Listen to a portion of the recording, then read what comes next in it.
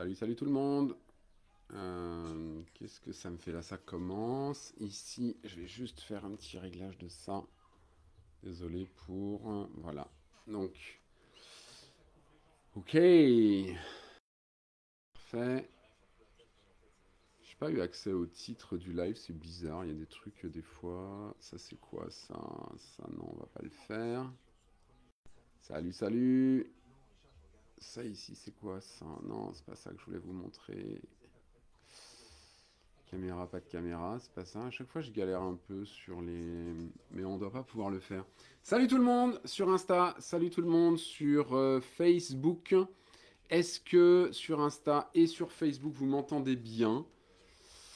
Euh, Sur Facebook, j'ai un tout nouveau micro, donc je besoin que vous me disiez si ça fonctionne bien. Eh, les, gens, j'ai un vrai micro de, de vrai, de vrai. Vous avez vu, c'est un vrai micro de fou. C'est trop bien. Merci. Bonjour Magali, est-ce que tout le monde m'entend très bien? Oui, parfait pour Facebook, bah, c'est bien parce que normalement ça entend bien aussi sur, euh, sur Insta, ça doit être bon normalement, ça doit le faire. Je vais pas rester longtemps euh, avec vous aujourd'hui parce qu'en fait, euh, parce qu'en fait, euh, je suis, je sais pas vous, mais je suis en train de regarder la première demi-finale de Roland Garros avec Nadal contre Zverev et je m'étais dit que je ferais un live aujourd'hui, donc je le fais. Mais en même temps, c'est chouette parce que cette demi-finale, elle est vraiment hyper inspirante. Et j'ai... Ah, merci Ophélie pour le retour. Merci beaucoup, merci, merci. Si c'est OK pour toi, Ophélie, euh, d'aller mettre un commentaire sur Amazon, c'est un petit coup de main vraiment sympa pour moi. Si tu peux faire ça, c'est vraiment chouette. Euh, Mais voilà, je me suis dit, vous, enfin, vous le savez, ce que, ce que je vous raconte, c'est des expériences de vie de moi. C'est, euh, ouais, Amandine, quel premier set? C'est des expériences de vie, c'est c'est ce que je vois, ce que j'entends, ce que je lis, ce que j'ai vécu, ce que je vis encore. C'est tout ça qui m'inspire au quotidien pour vous faire ces, vidéos, ces vidéos courtes, ces vidéos un petit peu plus longues. Tout à l'heure, j'ai posté une vidéo un peu plus longue sur euh, ma chaîne YouTube, sur mon podcast, sur, euh, la comparaison. Mais en regardant ce, premier set de, cette demi-finale, euh, je me suis dit, il faut absolument que je parle de, de ça. Parce que je ne sais pas si vous avez déjà joué au tennis, mais finalement, le tennis, c'est euh, c'est un sport individuel, c'est un sport stressant. Alors moi, j'en ai fait pas mal quand j'étais euh, enfant, ado, euh, avec une certaine pression de la part de notamment mon beau-père. Je ne sais plus si j'en parle dans mon livre, il me semble que oui.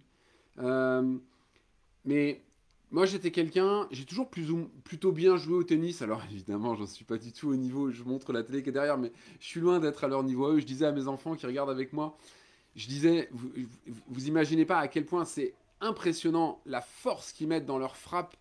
Et quand on est sur un terrain finalement euh, qui a l'air très très grand, quand on regarde à la télé avec la perspective, et quand on tape dans la balle comme un malade, en principe, la balle elle sort même derrière le grillage de, du cours. Euh, donc il y a une vraie maîtrise, mais je crois qu'au-delà de ça, ce qui est important à, voir et à comprendre dans, ce sport, dans le sport de haut niveau comme le tennis, c'est, mais de haut niveau, même un petit tournoi euh, dans notre village où il y a un minimum d'enjeux, où on a envie de gagner, tout va se passer là-dedans en fait. Tout va se passer dans la tête. Et je me suis dit, faut que j'en parle parce que pour moi, c'est vraiment ça en fait. Le, c'est la motivation, c'est la persévérance, c'est euh, le mental. Et quand j'étais gamin, c'est ado que j'ai pas mal joué en fait, et j'étais plutôt pas mauvais en entraînement. J'avais un bon coup droit, j'avais un revers qui passait plutôt bien, un service un peu mauvais par contre, ça c'est clair. Je, crois que j'essayais un petit peu trop d'imiter les grands joueurs, mais, mais ça va, ça allait quoi, je me défendais bien. Mais dès qu'il y avait l'enjeu d'un match, c'était mort pour moi. Moi, je suis un habitué. Alors, pour ceux qui connaissent un peu le tennis, je suis un habitué des roues de vélo. Les roues de vélo, c'est quoi? C'est 6-0, 6-0. Mais c'est moi qui les prenais. Moi, c'était très clair. Je démarrais un match, je perdais quelques points et c'était fini pour moi. Mon mental, il était juste zéro pointé.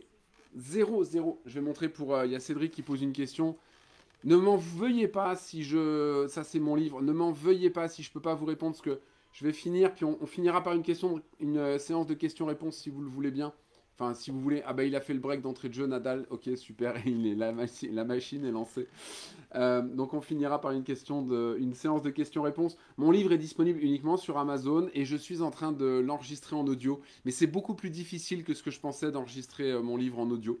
Donc euh, ça va prendre un petit peu plus de temps, mais voilà, il va être bientôt disponible en audio aussi si vous voulez écouter avec ma propre voix, raconter ma propre histoire. Euh, ça peut être sympa aussi, mais voilà, c'est pas évident. C'est pas évident. Je pensais que ce serait beaucoup plus simple que ça, mais je vous fais une confidence. Tout comme là, je suis inspiré d'un truc. C'est pour ça que des fois, je pars un peu dans tous les sens. J'ai aucun support, j'ai pas de prompteur, j'ai rien. Et quand je fais mes vidéos, c'est pareil. Il y a juste éventuellement quand je raconte une histoire où je vais avoir quelques, quelques notes pour pas oublier. Mais sinon, le prompteur, pour moi, c'est la, la, la, piste assurée pour que je sois euh, très très peu naturel. Donc c'est vraiment pas cool. En tout cas, ce dont je voulais vous parler aujourd'hui. Je repose mon, bouquin ici, vous le voyez sur les deux réseaux, ouais, a priori, ouais, un petit peu moins sur Facebook, voilà, c'est bon. Ce dont je voulais vous parler aujourd'hui, c'est cette motivation et ce mental. Et, si je prends l'exemple de ce match, on a un, Ils sont dans les premiers mondiaux, les deux, et on a un Allemand qui joue extrêmement bien, qui a un service de fou furieux, extrêmement puissant, et on a en face un Nadal qui vient sur le tournoi avec une soi-disant blessure au pied qui est soi-disant diminuée, mais qui a quand même sorti euh, Djokovic au tour précédent, qui est Nadal reste Nadal. Mais quand on le regarde jouer, quand on regarde ce qui se passe, c'est comme si ce gars, c'est comme s'il était monté à l'envers. Mais je m'explique. C'est comme si à un moment donné, lui, quand il est en difficulté, là où on va tous, et je me mets dedans, là où on aurait tendance face à des difficultés à s'écrouler, lui va faire l'inverse en fait. Lui, c'est comme si ça allait lui donner du un élan de fou. Ça allait le motiver. Il a sauvé des. Il, a, il a été. Euh, euh, comment il s'appelle? Zverev avait la possibilité de remporter le premier set au tie-break sur 4 points. Et c'est à ce moment-là que Nadal, non seulement. C'est pas que l'autre, à un moment donné, il a perdu ses points. C'est pas que l'autre, il a mal joué ou quoi ou quoi. C'est juste que Nadal a sorti un jeu de. On sait pas d'où en fait. C'est comme si. Vous savez, les voitures comme dans Fast and Furious, ces voitures qui ont un, espèce de. Comment La nitro, la nitro là, qu'à un moment donné, elles vont déjà super vite, puis à un moment donné, ils enclenchent la nitro, et la voiture, elle prend un coup d'accélération. C'est comme si lui, à un moment donné, à partir du moment où il est mené, à partir du moment où il est en danger, c'est comme si dans sa tête, il y a de la nitro qui commençait à, se mettre en route. Comme s'il avait un bouton en mode go, on y va. Et si vous avez regardé, si vous l'avez pas regardé, peu importe, mais le gars, il est à la fin du premier set, il est trempé. C'est un des joueurs qui suit le plus sur le circuit. Il est trempé, il est comme s'il sortait de la piscine. Quand il sert, il est obligé de s'essuyer de partout, ça dégouline de partout, c'est hyper pas confortable. Euh, c'est hyper humide, les balles sont chargées d'humidité, c'est pareil pour les deux. Mais lui, il est encore plus handicapé. Et pourtant, il sort des coups. T'es là, tu regardes, tu dis Waouh Mais c'est quoi? C'est un robot, quoi. Et je crois que c'est hyper intéressant de s'inspirer de ce genre de gars. Et ce que j'avais envie de vous dire, c'est que peut-être que en écoutant ce que je suis en train de dire, vous êtes en train de vous dire Ouais, non, mais attends, Axel, euh, tu rigoles ou quoi? Les mecs, ils sont entraînés, les mecs, c'est des joueurs de haut niveau, les mecs, ci, les mecs, ça. Mais si vous regardez bien, si vous observez, ils sont tous les deux à un très très haut niveau. C'est sûr que Nadal, c'est Raphaël Nadal, c'est Raphaël Nadal. Mais malgré tout, l'autre en face, il n'est pas là pour rien. C'est un des premiers mondiaux. Donc, quand on les regarde jouer de temps en temps, quand à la fin du premier set, il y a Zverev qui peut remporter, mais qui remporte pas parce qu'il a ce qu'on appelle le petit bras en tennis, c'est que son mental est en train de lui dire Tu vas perdre, tu vas perdre, tu vas perdre, tu vas pas y arriver, double faute. À ce niveau-là de la compétition, double faute. Des fautes bêtes, lâcher sa raquette. Mais ça, transpose-le dans ta vie. Je viens de lâcher un truc là. Transpose-le dans ta vie en fait. Transpose dans ta vie à un moment donné sur quoi tu t'arrêtes en fait. Qu'est-ce qui va faire à un moment que tu vas être là en mode euh, ouais je peux plus. Est-ce que c'est vrai que non seulement quand on est dans l'échec, c'est compliqué de rebondir des fois. C'est genre on n'en peut plus, a, on a un genou à terre je discutais avec quelqu'un hier, hier, je crois, ou avant-hier, en tout cas, peu importe. Et la personne me racontait un petit peu sa vie et je me dis, oh waouh, Problème de santé, très lourde opération, se retrouve en chaise roulante temporairement après l'opération, mais quand même se retrouve en chaise roulante à une quarantaine d'années. Son mari se barre, se retrouve seul avec un enfant compliqué, voire plusieurs enfants, mais en tout cas un des enfants est compliqué. Et tu te dis, ah ouais, ça cumule un peu parce que potentiellement, je sais pas, mais elle a aussi perdu son boulot, etc. etc. Et quand on lit ça, on se dit, ouais, il y a des fois, ça cumule vraiment très très fort. Et là, j'essaye de pas voir ce qui se passe parce qu'il y a un point de malade qui est en train de se jouer. Mais tu dis, waouh, mais il y a un moment. C'est quoi le choix qu'on a en fait? Quel choix tu as face à une situation qui devient extrêmement compliquée quand tu as l'impression que tout s'accumule pour toi, que tout est en train de s'acharner contre toi? Qu'est-ce que tu as comme solution? Il y a des gens, ils me disent, ça vaut plus le coup de vivre ça me fait flipper quand j'entends ça ou quand je lis ça. Souvent, c'est des écrits que j'ai. Je me dis, wow, wow, wow, les gens là, vous êtes en train de dire quoi? Je me rassure juste en me disant, en principe, les gens qui franchissent le pas d'un acte irréversible, en principe, ils le disent pas. Et je me dis, quelqu'un qui me dit, je sais plus quoi faire, je crois que je j'ai plus de raison de vivre, je me dis que c'est quelqu'un qui appelle au secours. Et euh, mais il y a un moment, et je vais enchaîner sur quelque chose. Je pensais pas vous en parler aujourd'hui, mais je vais enchaîner sur un truc, c'est que tout à l'heure aussi, je discutais avec quelqu'un qui me disait Non, mais j'ai pas besoin d'aide, je suis forte, je vais y arriver. J'ai jamais eu besoin d'aide de personne. Et là, je dis Mais ça, ça me parle, cette histoire-là. Pour ceux qui m'ont lu, vous le savez, très longtemps, mon épouse m'a dit faudrait que tu ailles te faire aider parce que j'avais l'impression que je travaillais sur moi, mais j'étais pas. Il manquait quelque chose en fait. C'est comme quand tu veux monter une entreprise, perdre du poids, faire une performance sportive, il y a un moment donné, tu as besoin d'accompagnement, tu as besoin d'aide, tu as besoin de support. Tu... Seul, c'est difficile. Sauf que moi, quand elle me disait, faudrait que tu te fasses accompagner, moi j'entendais, hé, eh, t'as un pet au casque, faut que tu ailles voir un psy. Et moi, un psy, j'étais en voir un il y a très longtemps de ça. Et excusez-moi s'il y a un psy dans l'assemblée, s'il y a un psy qui m'écoute, écoute, je suis désolé de dire ça, mais bon, moi, quand j'accompagne les gens, j'ai pas cette façon-là. En fait, il y a un échange. Moi, les psy, j'ai vraiment eu le schéma du psy qui m'a écouté comme ça, genre, je vous écoute, Monsieur Crevaux, ben voilà, blablabla, blablabla, blablabla. Re blablabla. Et puis au bout d'un quart d'heure, merci, on se revoit la semaine prochaine. Hein? Comment? Mais en fait, euh, et je fais quoi? C'est rien, c'est en train de sortir. Ah, d'accord. J'ai mon beau-père comme ça qui a fait 10 ou 15 ans de psy et malheureusement ça l'a pas trop aidé. Mais Bref, peut-être que parmi vous, il y a des gens qui, sont suivis par un psy et ça se passe bien, mais en tout cas, moi j'avais dans ma tête l'image de faut que tu ailles voir quelqu'un, tu es malade dans ta tête, faut que tu te fasses aider, et c'est pas ok. Et quand j'ai eu cette personne, un psychiatre, moi j'avais été, été voir un psychiatre, et j'avais été voir un. J'avais été. Euh, non, c'est pas ça que je veux dire. Euh, à ce moment-là, j'étais persuadé de réussir seul à dépasser la personne que j'étais, c'est-à-dire le, le gars qui n'était pas, était pas positif du tout, parce que je vous n'oubliez jamais ça, hein, j'étais pas positif du tout, le mec qui râlait, le mec qui était pas content, le mec qui n'était pas forcément cool avec ses enfants, et donc pas non plus avec sa femme. Bref, pas heureux de vivre alors que j'avais une belle carrière, j'avais tout pour, pour que ça marche bien. Je prends souvent l'exemple, moi j'étais au volant de ma voiture, j'ai un gros 4x4 à l'époque, j'étais super content de ce 4x4. Et on allait à la plage et je faisais la gueule en allant à la plage. Genre, le mec qui est né dans les Ardennes, là où il fait pas forcément toujours très beau, mais je faisais la gueule en allant à la plage. Donc c'était vraiment un truc, tu te dis, waouh. Et puis un jour, tu décides de te faire aider et tu te rends compte que c'est comme si tu faisais péter un cadenas en fait. C'est, j'ai essayé plusieurs thérapies. Euh, j'ai essayé des thérapies qui ne m'ont pas convenu à moi. Ça veut dire que euh, j'ai essayé des thérapies par exemple, l'hypnose, c'est très très bien l'hypnose, mais à moi, ça m'a pas allé en fait, parce que j'ai pas trouvé la bonne thérapeute pour moi. J'ai fait de l'EMDR, ça m'a pas allé non plus. Je me suis pris la tête avec la thérapeute, c'était pas ok. Mais faut que chacun trouve la personne qui va l'aider. Et c'est ce que je disais. J'aime bien parce qu'il y a Aurélie qui nous met les, vitesses à chaque fois. Vas-y Aurélie. J'adore. Attendez, je vais faire un truc sur Insta. Excusez-moi, je vous disparais deux secondes. Voilà, j'ai oublié de faire un truc super important. J'avais oublié de mettre en ne pas déranger histoire que le téléphone sonne pas. Mais en discutant avec cette personne tout à l'heure, je lui ai dit, tu sais, là où t'en es, reste pas comme ça en fait. Il y a des possibilités. Parce qu'elle me dit, et je lis ça tous les jours, et je vous en remercie infiniment, tes partages, tes vidéos me font du bien, mais c'est vraiment très très difficile. faut pas oublier une chose, c'est que les partages que je fais au quotidien sont inspirés par la vie, sont inspirés par ce que vous me dites. D'ailleurs, je vais en faire un sur l'échange que j'ai eu avec elle. En toute, soyez rassurés, c'est toujours anonyme, hein. bien entendu.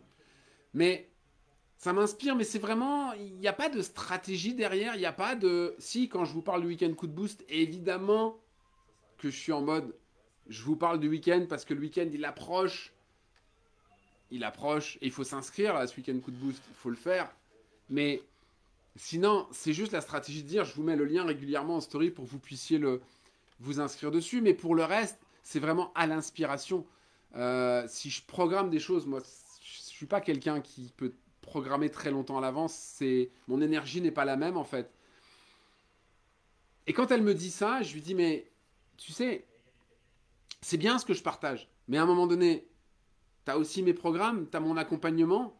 Ne néglige pas ça en fait. Et vous le savez, depuis quelques temps maintenant, j'ai une assistante, Alexandra, qui est là pour vous recevoir en appel pendant, ça dure entre 30 et 45 minutes, un appel avec Alexandra. Alexandra, elle est formée à mes programmes, elle est formée à mes accompagnements, elle a fait mes programmes, elle les a fait, elle les a vécus parce que c'était important qu'elle sache exactement ce qu'il y a dedans. Et ce qu'elle va faire, Alexandra, elle va vous écouter, elle va vous orienter vers l'une ou l'autre des solutions. Mais un programme, par contre, il est réfléchi, il commence à un point A et il termine à un point. Non, c'est pas vrai, il termine pas. Mes programmes, en fait, ils ne sont qu'un un coup de pied aux fesses, non? Un, point de départ à quelque chose d'autre. Je prends un exemple. Alors confondez pas, il y a le week-end coup de boost et il y a le programme coup de boost, d'accord? Oui, je sais, je me suis pas fêlé, je me suis pas foulé, j'ai mis le même nom pour les deux trucs. Donc j'aurais, c'est peut-être une petite erreur de stratégie, mais le week-end coup de boost 25 et 26 juin. Salut Cédric, euh, merci infiniment. 25 euh, et 26 juin, week-end coup de boost. Le programme coup de boost, c'est un programme en ligne qui te, dans lequel je te donne des clés. Il y a 5 ou 6 vidéos. Il faudrait que je regarde pour arrêter de dire 5 ou 6, voir si c'est 5 ou 6 et 6. Mais en tout cas, c'est rapide à faire. C'est-à-dire qu'à partir du moment où tu te réveilles le matin avant que tu te lèves, qu'est-ce que je te conseille de faire? Quand tu te lèves, qu'est-ce que je te conseille de faire? Tout au long de ta journée, qu'est-ce que je te conseille de faire Jusqu'à ce que tu ailles te coucher? Alors ça, tu le fais, euh, tu peux le faire en one shot euh, sur un après-midi au lieu de regarder le tennis, tu fais ça. Parce que par contre, tu le fais à un moment donné, tu t'isoles pour un programme, il faut vraiment le faire avec papier crayon. Mais une fois que tu l'as fait, ça dure beaucoup plus longtemps que juste le temps que tu l'as fait parce que je te propose de faire des choses. C'est comme mon gros programme, tu peux le faire. Je te propose de mettre des choses en place. Des choses en place que tu vas expérimenter. Et je sais très bien que sur 100% de choses que je te donne, tu vas pas forcément prendre 100% de choses que tu vas mettre en place tout de suite. Il y a des choses que tu vas mettre en place tout de suite. Il y a des choses que tu mettras en place plus tard. Et c'est parfait comme ça en fait. C'est complètement parfait, c'est complètement OK. Le principe, c'est que tu es entre les mains des outils que tu pourras utiliser quand ça t'ira bien. C'est cette fameuse caisse à outils dont je parle souvent. Tu auras une caisse à outils et tu vas pouvoir prendre au fur et à mesure de ce dont tu as besoin pour avancer dans la vie. Mais ne négligez pas de vous faire aider. Et quand je dis de vous faire aider, c'est Peut-être que moi, ça vous conviendra pas.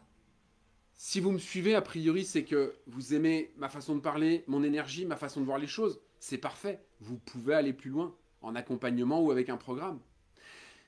Si je vous ai inspiré quelque chose, mais vous ne sentez pas pour X raison d'aller plus loin avec moi, trouvez quelqu'un qui va vous aider. Trouvez un thérapeute, trouvez... Je ne suis pas thérapeute. Trouvez un coach, trouvez un accompagnant, trouvez un programme, trouvez quelque chose vous faites pas avoir parce qu'il y a un peu de tout qui traîne, mais lisez un livre, c'est pareil, vous avez lu mon livre, c'est super, c'est un bon point de départ avec des clés. Et c'est écrit, mon livre, il est écrit en 2017, entre 2017 et 2022, il y a tu peux le faire. Où je reprends des clés d'avant parce que une fois que tu as une clé qui fonctionne bien, tu la qui fonctionne bien, tu la changes pas, tu continues à l'utiliser. Et si tu la changes, c'est pour en acheter une plus récente. Tu mets à jour, mais tu continues en fait avec cette même clé. Donc le livre est une amorce quelque part de choses qui ont fait de la personne que j'ai été jusqu'en avril 2017 quand je l'ai sorti. Et puis de avril 2017 à maintenant, il s'est passé tellement de choses en fait. Et là aujourd'hui, ça va plus loin. Et je vais te faire une confidence. Mon programme, tu peux le faire. de temps en temps, j'ajoute des choses dedans. Là, je vais ajouter un bonus parce que il y a quelque chose que j'ai pas voulu mettre dedans au moment où j'ai tourné le programme au mois de mars. Et là, maintenant, je me dis si, il faut que je le mette dedans parce que c'est important. C'est un programme sur la guérison en fait, parce que c'est tellement important. Mais ça, c'est grâce à vous, c'est grâce, c'est au fur et à mesure de vous lire en fait, où je me dis mais en fait, c'est évident que ça continue dans ce sens-là. Il faut faire, faut prendre les choses autrement. Faut changer l'angle d'approche de la problématique, parce que je suis persuadé et je sais qu'il y en a qui n'aiment pas ça. Mais n'oublie jamais que quand je dis quelque chose et que tu n'aimes pas, c'est que quelque part, il faudrait savoir pourquoi ça vient de chercher. Qu'est-ce que ça, qu'est-ce que ça vient déranger chez toi, ce que je dis? Je recevais un message euh, hier de quelqu'un qui me disait euh, Est-ce que tu pourrais arrêter de dire ça aux gens? Ouais, je sais, Sandrine. Mais euh, oui, merci de rigoler, Sandrine, parce que je sais. C'est dans ma to-do list, mais celle-là, elle est costaud de réécrire un livre. Honnêtement, elle est costaud. merci, Sandrine, c'est noté. Mais quelqu'un qui me disait Arrête de dire ça aux gens. Mais je dis non, parce que je ne l'ai pas dit à toi, je l'ai dit aux gens. Et quand je dis quelque chose aux gens, quand je dis tu peux le faire, si toi tu le prends pour toi et que ça te dérange, c'est qu'il y a un truc que j'ai touché. Si tu l'entends et que ça te glisse dessus, c'est que c'est OK pour toi. En principe, c'est comme ça que ça fonctionne. C'est pour ça que je dis aussi, quand tu lis un livre, je t'invite, quand tu lis un livre, à ne surtout pas le stabiloter, à ne surtout pas le euh, l'annoter, euh, ne pas le corner, c'est un peu moche pour le livre. Pourquoi? Parce qu'un livre de développement personnel, tu es susceptible de le relire un peu plus tard. Salut Mylène. Tu es susceptible de le relire un peu plus tard, un livre de développement personnel. Et si tu as, dans ton livre, si tu as mis des annotations, quand tu vas le relire quelques années plus tard, ton œil va s'arrêter sur les annotations et tu ne vas pas te laisser la chance de découvrir des nouveautés. Parce que c'est clair et c'est pour ça que mon programme, tu peux le faire, je le dis à l'intérieur du programme. Toutes les clés que je vous donne dans ce programme, qui sont toutes les clés que j'ai utilisées et que j'utilise encore aujourd'hui pour être la personne que je suis, dans l'énergie dans laquelle je suis, dans ce programme, je sais qu'à la fin du programme, c'est jamais fini ce programme. Vous allez y revenir un jour. Parce que vous n'allez pas tout utiliser tout de suite. Important. Ne pas le brûler non plus. Non, c'est clair. Non, c'est dommage de brûler un livre. Mais moi, il y a par exemple un livre qui s'appelle. Alors, je l'écoute en audio. Donc forcément, en audio, c'est plus difficile de stabilité. La puissance de votre subconscient de Joseph Murphy, qui est un livre assez costaud. Je l'ai lu, je l'ai écouté six fois. Je vous promets, à la dernière écoute, qui remonte pas si longtemps que ça, à la dernière écoute, j'ai eu l'impression que je l'avais jamais écouté. Il y a des choses qui non, c'est faux. Il y a des choses qui dit, ok, l'histoire de machin, de truc, ok, ok, ok, ok, ok. Puis à un moment donné, je fais, c'est dans ce livre-là qui dit ça? Hey, je m'en souviens pas. Donc là, on est dans de l'audio, mais si j'avais ce livre entre les mains et que je l'avais annoté, j'aurais loupé le reste parce que j'aurais annoté des choses et je serais revenu quelques temps plus tard sur la même chose. Faites pas ça en fait. T'achètes deux ou trois fois le même livre, Natacha. Excellent. Donc voilà, c'est ça. Mais tout ça pour vous dire que, encore une fois, je reste persuadé, même si je sais que ça dérange, je dérange quand je dis ça, mais on a tous le choix quel que soit l'endroit d'où on vient. Faites des recherches, regardez des histoires incroyables de gens qui n'avaient rien dans la vie à la base, qui n'avaient pas, qui sont pas nés, comme on dit, avec une cuillère en or dans la bouche, des gens qui viennent de nulle part, des gens qui et qui arrivent à faire des choses extraordinaires, merveilleuses. Et quand je dis extraordinaire, merveilleux, je ne parle pas forcément de gagner énormément d'argent ou quoi que Non, je parle pas de ça. Je parle juste, ils ont une vie, ils sont heureux en fait. Et on peut tous faire ça, j'en suis intimement convaincu. Et ça, vous ne me ferez pas changer d'avis. Alors oui, c'est sûr que quand on regarde de l'extérieur ou même de l'intérieur, des fois on se dit mais putain mais regarde ma vie, ça s'acharne contre moi là. J'ai la maladie, j'ai mon mon chéri il est parti, j'ai perdu un de mes enfants, j'ai euh, pas d'argent, j'ai pas mon boulot, etc., etc. Oui, oui, oui, oui, oui, c'est sûr. Sur Amazon, Anna, tu peux le trouver sur Amazon. Je pourrais mettre le lien après si tu veux, mais il est sur Amazon. Merci Laurence pour le suivi. J'aime bien parce que souvent il y a des gens qui répondent à ma place. C'est vraiment gentil parce que comme vous le savez, j'arrive pas à suivre les commentaires. Euh, il y a un moment, vous avez la possibilité de dire que il faut que ça s'arrête en fait. Vous pouvez à un moment donné dire maintenant stop. Et c'est à ce moment-là peut-être qu'il faut se dire, help, est-ce que quelqu'un pourrait m'aider? Là, seul, c'est compliqué. J'aurais besoin que quelqu'un me donne un coup de main. Et ce, ce quelqu'un qui donne un coup de main, cet accompagnant, c'est quelqu'un qui va mettre certaines choses en lumière, c'est quelqu'un qui va vous accompagner dans la bienveillance, et c'est quelqu'un qui va vous dire, ok, maintenant pose-toi, pose-toi. Et maintenant, on va reconstruire. Parce que oui, c'est possible. C'est possible. C'est pas une fatalité tout ce qui nous arrive. Mais par contre, le problème, c'est quand ça nous tombe dessus et ça nous tombe dessus et ça nous retombe dessus. À un moment donné, on est un peu comme, on est écroulé, on s'en prend, on s'en prend, on s'en prend, et du coup, on finit par s'imaginer que ça ne va jamais s'arrêter. Et comme on s'imagine que ça ne va jamais s'arrêter, ça ne s'arrête pas. Et comme vous le savez, si je vous dis ça, c'est que moi, le gros truc que j'avais à travailler dans cette vie-là, c'est les problèmes financiers. J'en ai mangé, vraiment. Et on n'est pas complètement sorti de l'histoire. Mais on a fait plusieurs faillites. Et parce que j'ai pas compris à la première. Donc. Euh, mais c'est des choses à travailler. Et on a vraiment la possibilité de travailler dessus. C'est pour ça que j'ai démarré par le tennis. Parce que c'est la demi-finale. C'est parce qu'à un moment donné, c'est une question de qu'est-ce que j'ai dans la tête? Qu'est-ce qu'il a de plus, Nadal, par rapport à, à par rapport à toi, par rapport à moi, par rapport à tout ça? Et si on répond vite fait, on dit mais c'est évident. Non, il n'y a rien d'évident en fait. C'est un gars qui a, à un moment donné, c'est un gars qui avait envie d'y aller, qui a tout fait pour le faire, qui a tout développé, et qu'en est là où il en est aujourd'hui? Et aujourd'hui, c'est un mec qui fait peur. Parce que tout le monde sait que quand on est face à un mec comme ça, non seulement il est puissant, mais tout se joue là-dedans pour lui.